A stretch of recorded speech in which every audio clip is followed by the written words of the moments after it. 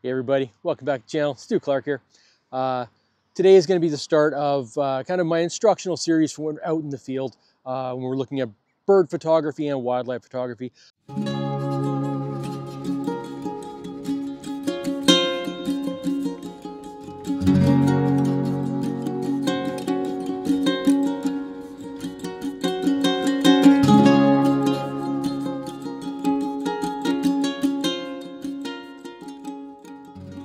I probably shoot about 90% birds. Wildlife is something that uh, is generally a lot harder to get. You got to get a lot luckier with it. The first in the series we're going to be looking at, um, it's going to be a number of videos looking at depth of field and all the different factors that come into play when you're trying to, to get that really nice shallow depth of field. Uh, you know, you come down to the duck pond, you go down to the estuary here like this, you're always going to see a group of photographers standing, shooting down on their subjects. And you can see one person kind of off to the side with a great big 600 F4 laying down in the muck. Otter just came out.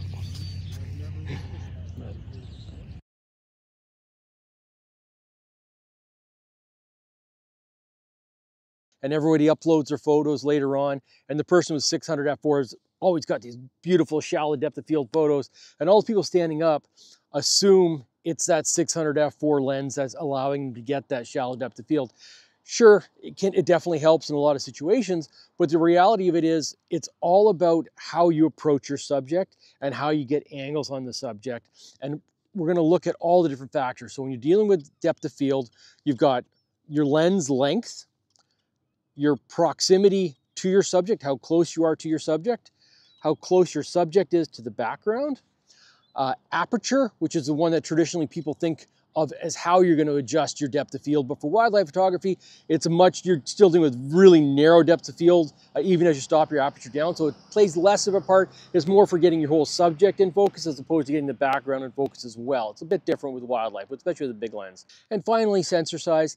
First thing first, let's talk about lens length. So lens length basically means the, the, the longer your, your focal length is, the shallower the depth of field is going to be for any of the given variables. So if you're shooting a 5.6 at 200 mil versus 600 mil, you're gonna have a much larger depth of field at 200 mil versus 600 mil. So the longer your lens is, the more you can uh, the more you can get kind of get that shallower depth of field.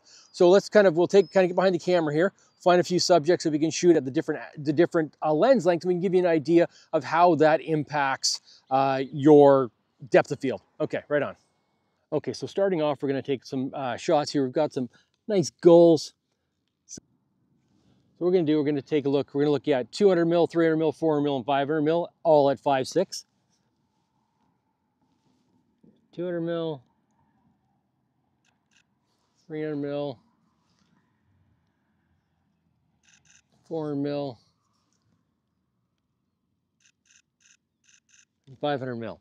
So right now we are at let's call it 20 feet. So if you take a look, said so the depth of field apps are, um, they're a really handy tool, but you just uh, take it with a grain of salt for the actual measurements, I think, especially when you're dealing with, uh, if you're shooting DX, those numbers don't necessarily pan out the way I think they should.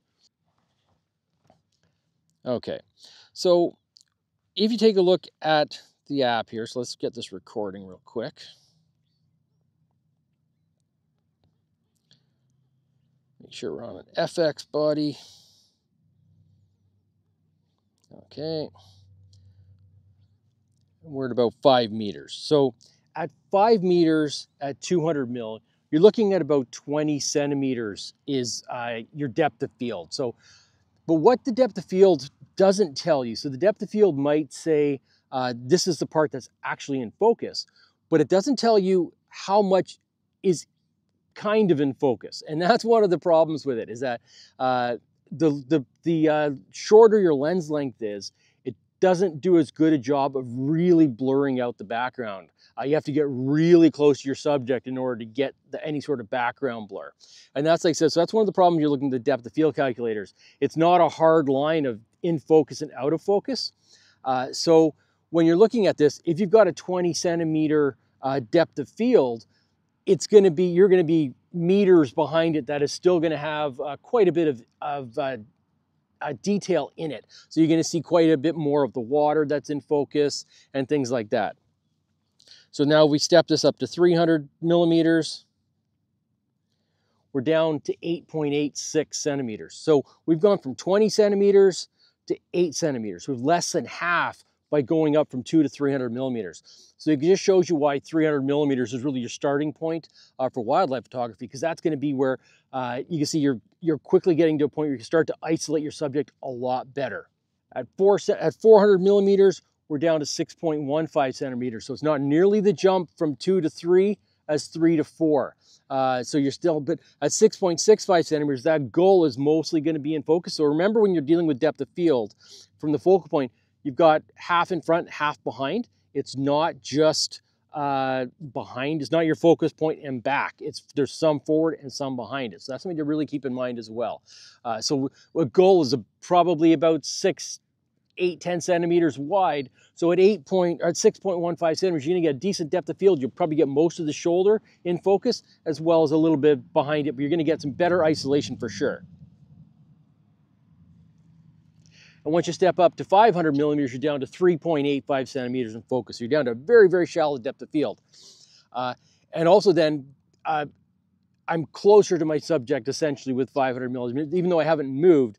Obviously, I'm, I'm kind of I can't get the whole goal in anymore. So you're kind of you're getting a much much shallower depth of field with 500 mil, and this is why 500 mil is kind of the it's uh, it's really the ideal either 500, 600 mil for bird photography really makes sense because it gives you really shallow depth of field at a distance that's still really workable.